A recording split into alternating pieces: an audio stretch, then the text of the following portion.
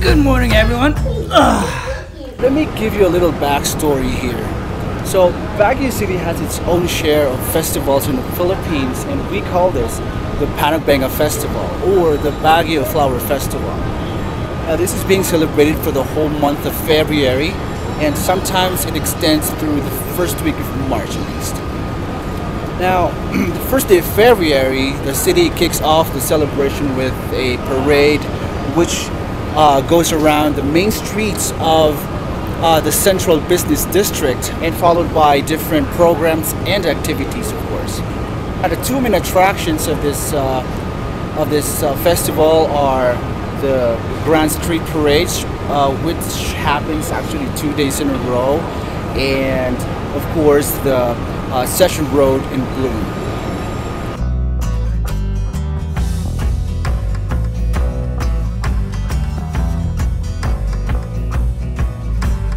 Okay, so what happens is that the right after the Grand Street parades, the whole stretch of Session Road is being closed and filled up with different stalls where people can buy some sort of different products and services which are open up until 12 midnight and that happens for the whole week. That's right there happening behind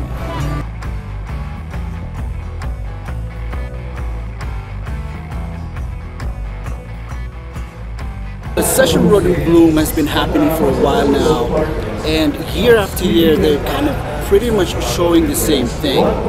So please correct me if I'm wrong. I think the main purpose of this uh, sort of trade fair is to kind of showcase the different products and services of the locals here in Baguio City and of course the neighboring provinces uh, or Benguet as a whole.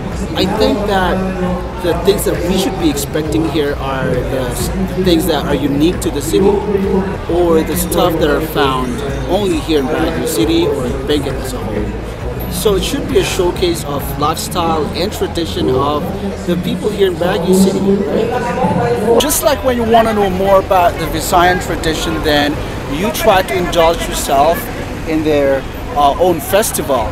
Same is through here. So when people come to visit Baguio City, uh, especially at the Panagbenga, uh, the stalls or the things that they should be looking at here should tell or kind of tell the story about the people of Benguet, right? And we have to admit that not all of these stalls that we have here right now are uh, doing their purpose. So what I want to do right now is to roam around and check whether or not the stalls here really deserves a spot here at the Session Road in Bloom. So again, this is just my own opinion, which everybody is, uh, I mean, has a right on. So you have your own opinion, I have mine, so please don't judge me on this, okay?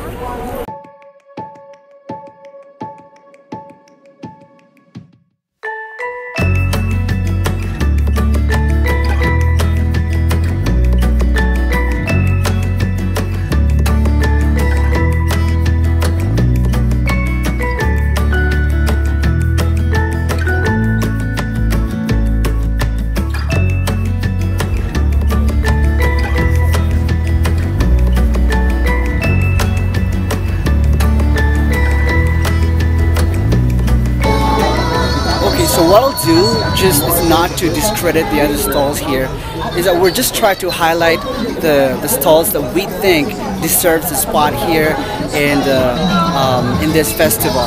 Just like this, this stall right here. See these?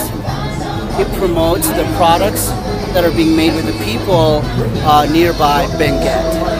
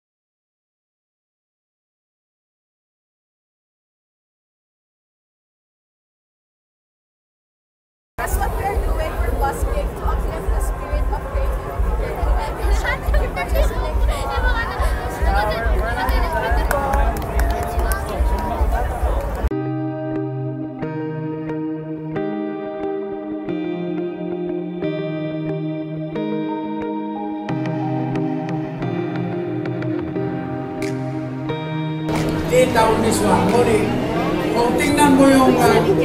And these- Oh, absolutely. These are products being made by the people here in Baguio City. So yes, absolutely, you deserve a spot here.